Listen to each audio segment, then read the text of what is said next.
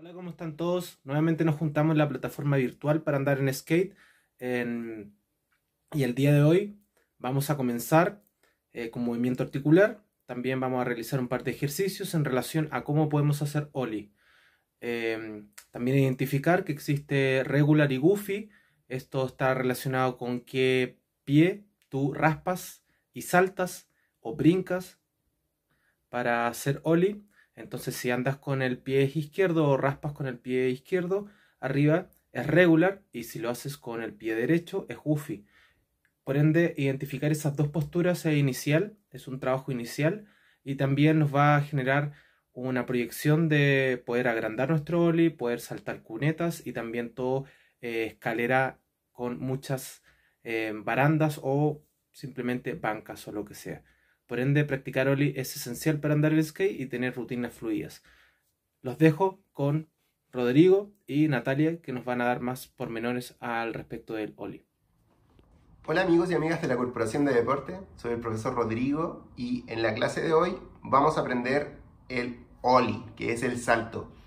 Vamos a partir desde los básicos del skate hasta más adelante vamos a ver trucos que sean más complejos. Pero el Oli es la base de todo. O sea, en la clase anterior la profesora Natalia enseñó las posturas. Que bueno, es como subirse al skate, aprender a andar y doblar. Que eso es el grado cero. Este ya es un truco que viene siendo un poco más complejo, pero cuando lo aprendan a hacer se van a ir por un tubo y van a disfrutar mucho porque de ahí lo puedes ir combinando, lo puedes hacer tu fakey o andando hacia adelante. En el día de hoy lo vamos a hacer estático por un tema de que estamos todos en casa, yo estoy acá en el living de mi casa y nada, para esto les pido que tengan su skate a mano, yo acá tengo mi tabla, y vamos a hacer un leve calentamiento, ¿ya? Básicamente para que hidratemos un poco nuestras articulaciones, tobillo y rodilla, que es lo que necesitamos. Nos vamos a parar acá. Y vamos a empezar de abajo hacia arriba, con el tobillo. Con la punta del pie hago círculos amplios. Cada uno lo hace según su rango de elongación, porque todos tenemos distintos tipos de elongación. La idea es que sientes que estire, pero no que te duela. Así que vamos haciéndolo cada uno a nuestro ritmo. Yo voy a cambiar de pilla. Para el otro lado. Ahora, abre un poco las piernas para estirar los oblicuos de acá. Arriba, adelante, al lado, al medio, al otro lado. Ya, vamos a trabajar un poquito la rodilla para atrás, manos adelante y vamos a tocar las rodillas, las manos con las rodillas.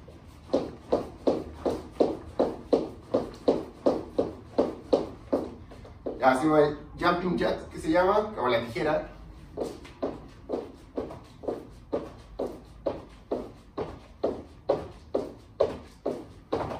Y estamos, movemos un poco los hombros, los brazos, hacemos espalda. Allá. La cabecita, círculo, medio círculo, ambos lados. Y estamos. Para hacer el Oli, quiero que hagan dos ejercicios. Le van a pegar y van a saltar y vamos a hacer hippie jump. Vamos a partir con el hippie jump. ¿Cómo vamos a hacer el hippie jump? Vamos a poner nuestros pies acá en los pernos y vamos a saltar. Para que les sea más fácil, los que no tengan buen equilibrio todavía sobre la tabla, lo pueden hacer sobre una alfombra. Yo voy a intentar hacerlo acá sobre el piso de madera. Este es el ejercicio. Básicamente, me subo al skate y desde ahí voy saltando.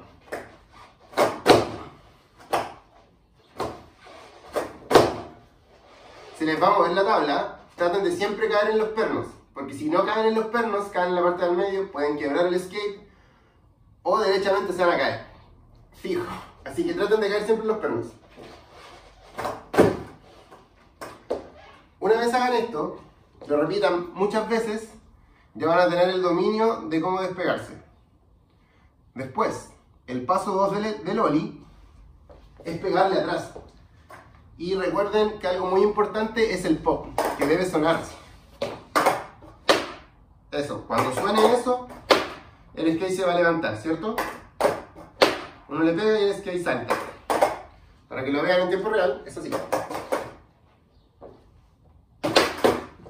¿Se dan cuenta? Es como cuando uno lo va a tomar.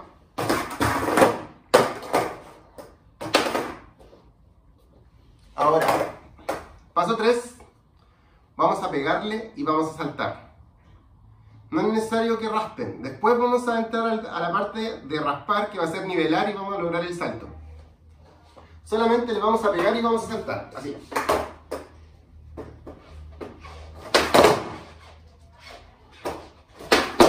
Oh, ahí raspé, pero ahí salté. Porque el, el paso 3 ya viene a raspar y ahí nivelamos el skate. Para que lo vayan entendiendo, le vamos a pegar, se va a enderezar y vamos a caer. Recuerden siempre mantener sus pies en los pernos para que no rompan el skate y tengan más estabilidad. ¿Vale? Ahora voy a hacer derechamente el ollie. Mientras más le peguemos y más saltemos, más vamos a elevarnos. Voy a empezar de a poco y voy a ver mi rango de, de altura que yo pueda lograr.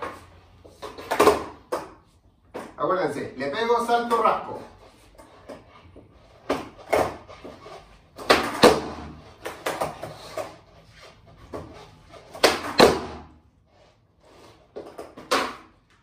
Ahí está. Acuérdense, esta es la mecánica. Le pego, el skate hace esto, mi pie de adelante endereza el skate, me nivelo y caigo. Es un poco difícil hacerlo en un principio, pero una vez que lo hagan, lo van a pasar súper bien. Es muy entretenido, van a poder subir cunetas, bajar cunetas, saltar cosas, saltar una tabla, saltar una lata, lo que sea. Así que nada, practíquenlo en su casa y para cuando ya todo esto termine, podamos salir a la calle o al skatepark a disfrutarlo. Así que eso, cuídense mucho, practiquen y quédense en casa. Chao. Hola, espero que te haya gustado la introducción con el profesor Pablo y también que te hayan gustado todos los tips que te acaba de dar el profesor Rodrigo Verdugo. Recuerda que para el Oli necesitas popear, raspar, saltar hacia el lado y elevar el pie con el que popeas. Entonces, te vas a poder elevar, ¿ya? Practícalo muchas veces en tu casa, porque así cuando nos veamos en la pista nos vas a poder mostrar el Oli en planos inclinados, en vacíos, em, entrando en el bowl, ¿ya? Recuerda que el Oli es un- uno de los trucos iniciales del skate, ¿ya? Si ya lo sacas y no sé, cuando ya volvamos a fase 2 o fase 3, sal a la calle, patina, por favor, no sé, em, sáltate las cunetas y así vas a ir practicando hasta que tengas un Oli muy, pero muy elevado. En segundo lugar, eh, recuerden que estamos en fase 1, por lo que le pido prudencia y además que mantengan todas las medidas sanitarias, es decir, lavarse las manos frecuentemente, mantener el distanciamiento social y además mantenerte en casa. Son solo dos semanas para que podamos volver a vernos las caras, para que podamos volver a vernos la pista y hacer nuestros talleres como normalmente se hacían. Claro, siempre y cuando se mantenga las medidas sanitarias. Así que eso, espero que te haya gustado. Desde la Corporación del Deporte de Puente Alto, te deseamos una muy buena semana. Que estés muy bien. Chao.